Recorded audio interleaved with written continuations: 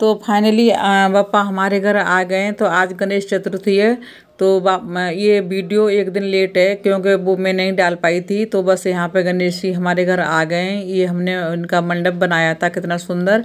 तो बस जब हम गेट पे आते हैं तो उनकी आरती करी थी, और उसके बाद में यहाँ पे घर पे भी हम जैसे इनको जने हुए, हार है, दुर्वा है वो सारी चीज़ इन पे हल्दी, कुमकुम, घर पे भी फिर आरती करते हैं तो वही में मेरे मेरे पतिदेव कर रहे थे।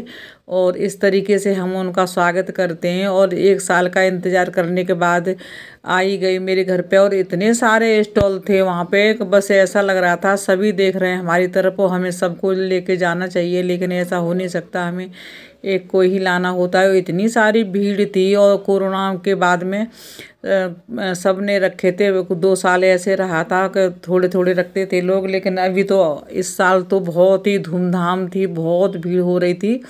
तो बस इस तरीके से यहाँ पे हम ये दीपक जला दिया, ये जलता रहेगा और इस छोटे दीपक से हम लोग और कपूर से आरती करेंगे। और यहाँ पे इनको मोदक और ये पाँच फल हैं। इस तरीके से और ये एक, यहाँ पे ये छोटा सा लोटा भर के रखते हैं और जो हमारे घर में गणेश जी है ना छोटे वाले तो वो भी हमने यहाँ रख दिए तो उनकी भी पूजा कर लेते हैं। इस तरीके से हम करते हैं गणेश जी की पूजा और ये दिन इतना अच्छा रहता है, इतना सुबह से शाम तक, इतना सबके घर में गणपत बाबा मोरिया, सबके तरफ़ से, जिधर से सुनो उधर से यही आवाज़ आती रहती है और बैंड बाजे से लाते हैं जो बहुत सारे लोग तो जो रोड पर रखते हैं ना बड़े बड़े पंडाल बनाए ना उन वो तो शाम को बैंड बाजे से ही लाते हैं, बहुत बड़े बड़े लाते हैं। कोशिश करूँगी मैं बाहर जाऊँगी तो आप लोगों को वो भी वीडियो बनाऊँगी तो यहाँ पे हो रही है आरती, जब हम घर पे लेके आए थे तब तो बस उन साहब ने कर ली थी तो उसके बाद में मैं कर रही थी यहाँ पे आरती।